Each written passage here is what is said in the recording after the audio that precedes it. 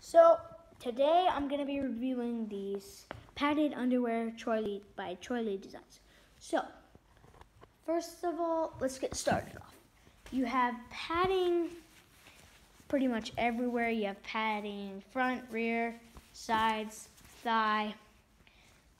Um, some of them are able to come out. Don't know why, but you take that. Well, even notice you're wearing them. Really. Um, at first you're like, hmm, feels a little, feels a little. Oh, just got garage there. Sorry about that. You're just like feels a little different, but than normal, but it's it works. So, and then you're like, oh, okay. So I just get used to it. I don't know if that'll happen for you, but padding almost everywhere. Well, everywhere actually. Really everywhere they can really put padding.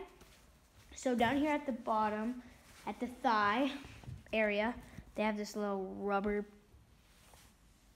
piece in there. You can see it, it's that white thing down at the bottom of the screen. So they've got that so it kind of stays better. And this is kind of a short review, so I'm gonna put this into my knee pad review. So it's currently six degrees out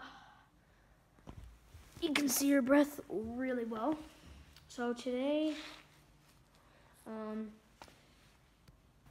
I don't have any local trails anyways, so no riding for me.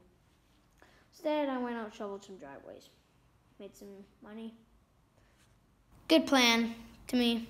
Um, so today I'm gonna review Troy Lee Designs Speed knee pads D3O.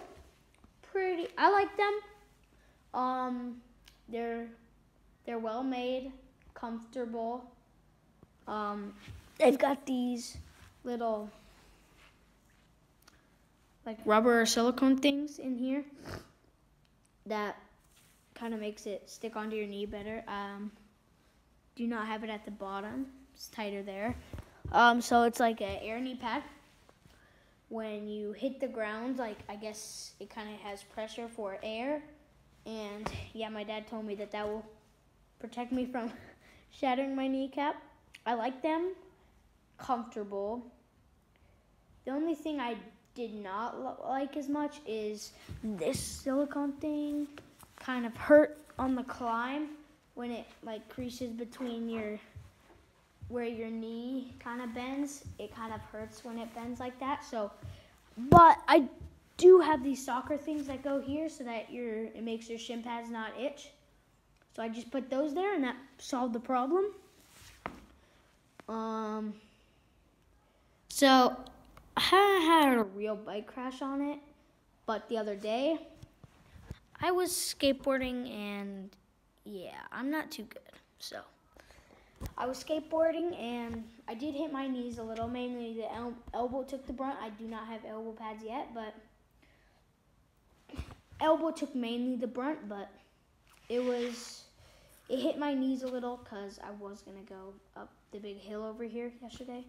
It was really warm yesterday, but it snowed overnight, so no. Um. So when I was and I went down the curb, hit a hit a little pebble and stopped my skateboard wheel. So I flew off the curb. Pretty fun actually, but it hurt a little, but then knee pads did help. No damage at all. I was wearing pants, but because it was kind of cold. 50s, pretty good for January and winter. So, anyways, tell me what else I should do. Um, for videos. Um, so, bye. See you later.